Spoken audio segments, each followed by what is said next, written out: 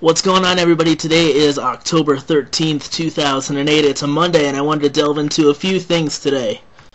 First off, I went to go see Quarantine. If you like shaky camera movement like this the entire time, then you might like this movie. If you don't like shaky uh, camera movements, then don't watch that movie.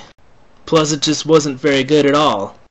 Story number two, I wanted to talk about Vero Beach, Florida, where a man decided to purchase a McDonald's meal with marijuana. He offered the substance via intercom to the person at the cashier station, and the cashier actually called the police. The cashier gave the cops his license plate number, and he got arrested just moments later. Story number three. The Dow is up. Well, really, the whole market's up. So, yay, economy. And actually, if you're looking at gas prices, you'll notice at least in Colorado, gas prices are down to about 320, 330, maybe a little, maybe even 335.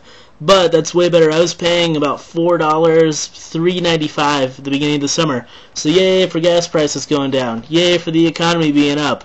And uh, hopefully things are on the up and up. Also, last thing before I go today, um, my last video on Friday was about advertising our show coming up October 25th at Moe's, which is formerly the Falcon.